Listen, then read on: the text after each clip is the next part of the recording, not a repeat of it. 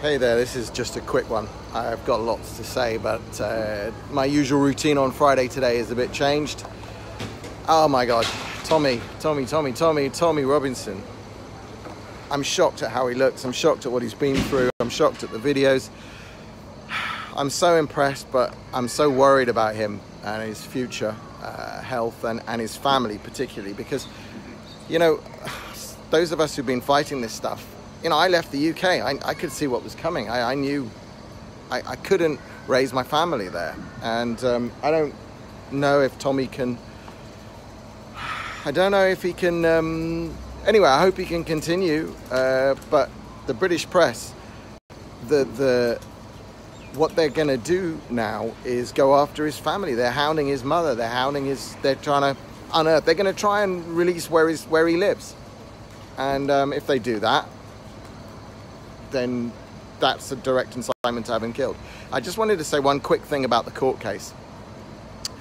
The court cases, Canterbury, and there's something that's not really been brought out by many commentators, which is that both courts made exactly the same mistake.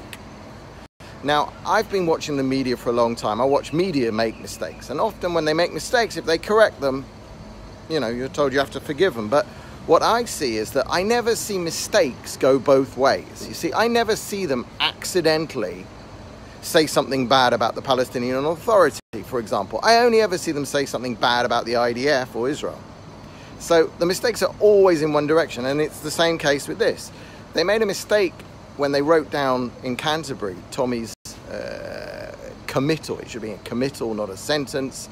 They wrote it in a criminal way instead of a civil way, and that that gave him horrible conditions. And then when it came to Leeds, the, the, the clerk of the court and the judge, both, because, you know, I don't know whether the judge had time to read the, but he should read everything that comes out of his court.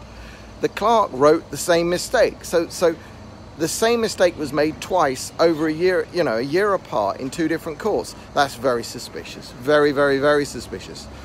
The, the more charitable readings, such as you'd get from Joshua Rozenberg, who's the BBC's sort of top legal, legal commentator, the more charitable um, thing you'd get from them is that, well, you know, this is such an obscure part of law.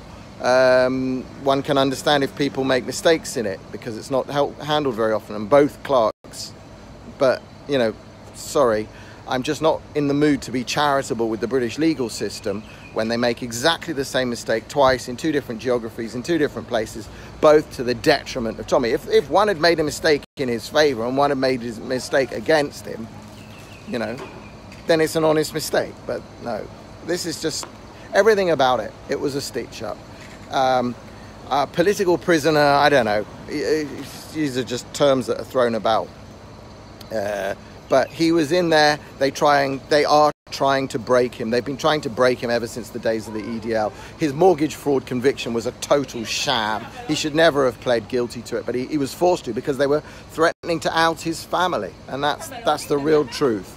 And um, there's just no other way to say what is going on other than that. Anyway, that's enough for now. I'll get back to. Uh, the stuff I have to do today, and if I have time for a longer video, I will. But Tommy, my heart goes out to you. I'm so pleased that some of the people stuck with you. Um, we know who they are. We know who supported you through thick and thin, and um, I'm proud to have done that and been right there all along. Good luck. Go to Tenerife, get better, uh, and come back, and um, we can fight these bastards.